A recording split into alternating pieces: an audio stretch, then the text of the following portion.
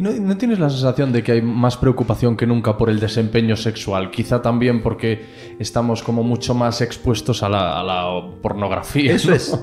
Es eso, es eso que dijiste. Como mucha más preocupación de, de mi capacidad sexual, de si yo satisfago a la persona con la que estoy, de si estoy suficientemente dotado, etcétera, etcétera. Exactamente. Ese es el- de eso es desde el punto de vista masculino.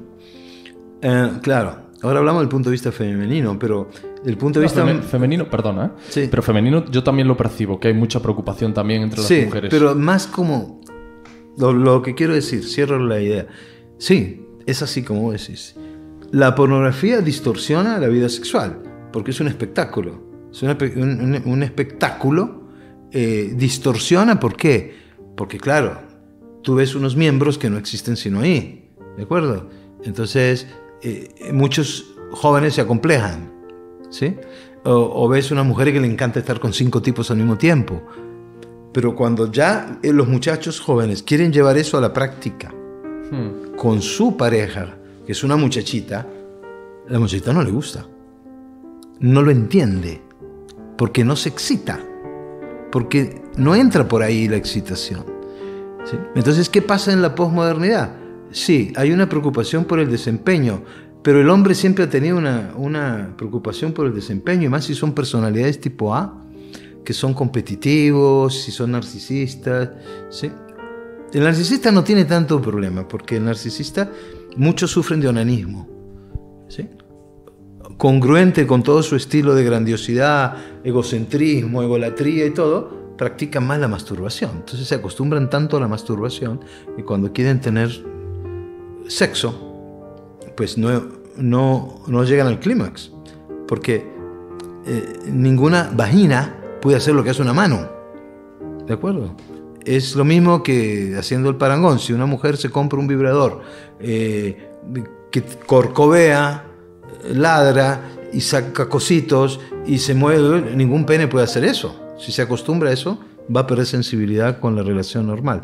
Entonces yo creo que en la posmodernidad, pese a que el valor de la autonomía se destaca, yo no estoy tan de acuerdo con Bauman con las cosas que dice Bauman, pero bueno, no es aquí el tema para hablar, pero sobre la persona, sobre el, amor líquido y todo eso, porque creo que él termina en una posición conservadora, muy conservadora.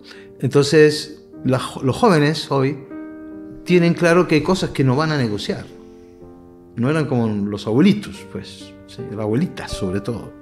Entonces, la autonomía y todo eso, pero lo curioso es que no ha bajado el nivel de dependencia. Cuando ves las estadísticas son las mismas. Hay seis mujeres dependientes por cada hombre dependiente desde el punto de vista afectivo, que sufren dependencia emocional. Y hay 90 hombres con dependencia sexual por cada 10 mujeres con dependencia sexual. Sigue habiendo el mismo porcentaje. Y antes se contrataba un detective, ahora si el muchacho es celoso, pues le da el WhatsApp y le dice, a ver, ¿con quién estás? Mostrame. ¿Qué ropa tenés puesta? La minifalda te dije que no te la podías poner, mostrame qué tenés puesta. ¿Y cómo interpreta eso? Muchas chicas, ¿cómo lo interpretan? No todas, ¿eh? pero las que sufren de dependencia lo interpretan como me ama. Me ama tanto que me cuida. Me ama tanto que me cela, porque eso viene de muy atrás también, asociar los celos y el sufrimiento al amor. Si tú no sufres por mí y no me celas, no me amas. Y celar es posesión. Es tú eres mía. Es cosificarte. O tú eres mío, es cosificarte. ¿Sí? Entonces, bueno, tenías razón con, estoy totalmente de acuerdo. Yo creo que la pornografía distorsiona la relación sexual porque te pone unos parangones, unos estándares de autoexigencia que no podemos alcanzar y además que tampoco sé si son tan satisfactorios, ¿no? Es decir, en, mi época de los 60, Peace Love, y cuando tomamos la universidad protestando por la guerra del Vietnam, pues nos quedábamos una semana encerrados en la universidad, chicas y chicos, y pasaban muchas cosas. Eh, y era el, el amor libre y todo. Mm, pero hay gente que no lo soportaba. Hay gente que no lo aguantaba, hay gente que lo aguanta. Lo que pasa con los swingers, ¿no? Hay parejas que van a los swingers y soportan. Aguantan, algunos les va bien, pero a la gran mayoría, por mi experiencia, no les va tan bien. Por el sentido de posesión que hay. He escuchado algo muy interesante en relación a esta exposición a la pornografía y al desempeño sexual precisamente, y es que como ahora eh, la, las eh, juventudes, la gente que viene, eh, tiene más exposición a la pornografía, se acostumbra a la excitación producida por la pornografía. Que la pornografía, cuando tú te excitas con la pornografía, tú no te estás excitando por, practicar sexo. lo que te estás convirtiendo es en un boyer. En un onanista. Y entonces llega un momento en el que el sexo ya no es lo que te excita porque estás educado que para que lo que te excite es ver a otros practicando sexo. Y no cualquier sexo, porque si vos llevas a esa persona a ver un sexo normal, no le va a excitar. Claro, entonces eh, eh, el boyerismo es eso, ¿no? Eh, en los libros de psiquiatría aparece como una parafilia, pero bien manejado no tiene por qué ser una enfermedad, ¿cierto? porque si yo soy boyerista y mi pareja es exhibicionista, estamos perfectos. El problema del boyerismo es cuando me impide a mí desarrollarme como persona en muchas áreas, porque así se vuelve adicción. ¿De acuerdo? ¿Sí? Pero sí estoy de acuerdo con eso. Entonces, ¿qué puede reemplazar eso? Pues ir a un lugar donde haya sexo en vivo pornográfico. Ese sí, la excitación va a ser mayor pero ¿a dónde lo vas a encontrar? Y si una vez que lo encontré, después ¿qué haces? ¿Te tenés que, que hacer el sexo con un marciano o qué? Eh, antes hablábamos de si se puede seducir todavía con palabras, con un mensaje, con la transcripción de unos sentimientos.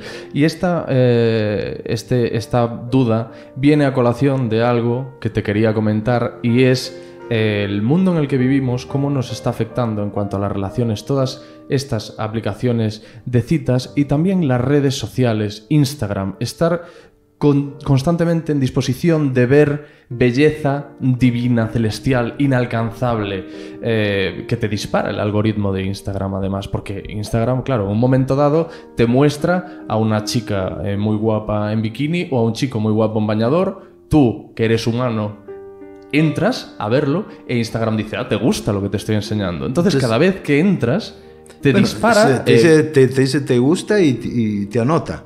Claro. Sí. Eh, y, y, hace el perfil, ¿no? Sí. Sí, ¿cuál es la pregunta? Perdón.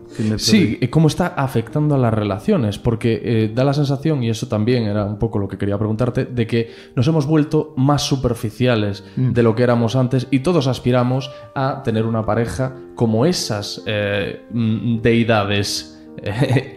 y, personas estéticamente eh. fuera de lo común que nos permite ver esa ventanita que llevamos todos en el bolsillo, que es el móvil. Pero sí, eh, pero no es ni siquiera una aventura lo que uno aspira, ¿no? Las que la gente aspira cuando cae en eso, sino que aspira a tener una relación donde el tiempo no transcurra. Detrás de todo esto está que el tiempo, mm. ¿sí? porque que no haya arrugas.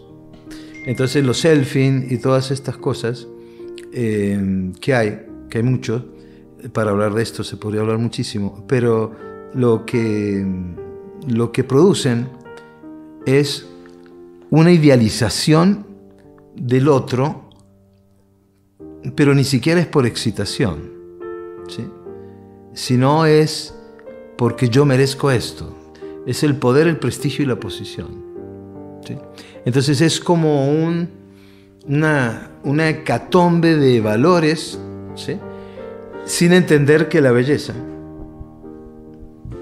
para mí no hay expertos en belleza. Para mí es ridículo hablar de un experto en belleza, una experta en belleza. Para mí es estúpido, ¿sí?